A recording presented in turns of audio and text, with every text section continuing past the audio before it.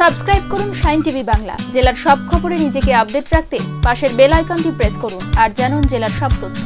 পশ্চিমবঙ্গ দূষণ নিয়ন্ত্রণ পর্ষদ ও কৃষ্ণনাথ কলেজের যৌথ উদ্যোগে গঙ্গা দূষণ নিয়ন্ত্রণে পথে নামলেন কলেজের অধ্যক্ষা সহ অন্যান্য অধ্যাপক, অধ্যাপিকা এবং ছাত্রছাত্রীরা।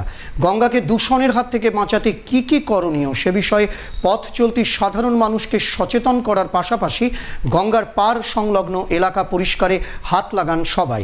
কৃষ্ণনাথ কলেজের অধ্যক্ষা সুজাতা বন্দ্যোপাধ্যায় বলেন, পরিবেশকে দূষণমুক্ত করার জন্য এক সপ্তাহব্যাপী এই কর্মসূচি গ্রহণ করা হয়েছে পশ্চিমবঙ্গ সরকারের উদ্যোগে।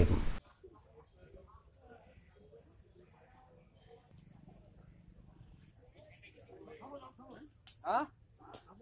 আজ কৃষ্ণনাথ কলেজের সাথে পশ্চিমবঙ্গ দূষণ পর্ষদের সহযোগিতায় একই সঙ্গে গঙ্গার ধার কে মুক্ত করার জন্য দূষণ মুক্ত করার জন্য আমাদের কলেজের ছাত্রছাত্রী অধ্য- অধ্যাপক, অধ্যাপিকা সহ আমাদের সঙ্গে আমাদের উপস্থিত আছেন পশ্চিমবঙ্গ দূষণ পর্ষদ বিভাগের মেম্বার সেক্রেটারি মাননীয় সুব্রত মুখোপাধ্যায় এবং সেই সঙ্গে আছেন তাদের নানান সচিববৃন্দ। তারা সবাই মিলে আমাদের কলেজের এনএসএস, এনসিসি এবং ফিজিক্যাল এডুকেশনের ছাত্রছাত্রীরা, তারা নিজে হাতে এবং আমাদের কলেজের কর্মীরা, তারা নিজে হাতে গঙ্গার ধার পরিষ্কার করার কাজে যুক্ত হয়েছে এবং এই আমাদের এবছর ওয়ার্ল্ড এনভায়রনমেন্ট এই বিষয়টিকে নিয়ে আমাদের ভারতবর্ষ হোস্ট দেশ হিসেবে ঘোষিত হয়েছে এবং আমরা সেই পরিবেশ সুন্দর করবার জন্য সেই কাজে আমাদের পশ্চিমবঙ্গ সরকারও এগিয়ে রয়েছে এবং সেই সঙ্গে পশ্চিমবঙ্গ দূষণ পর্ষদের সঙ্গে সহযোগিতায় আমরা এক সপ্তাহ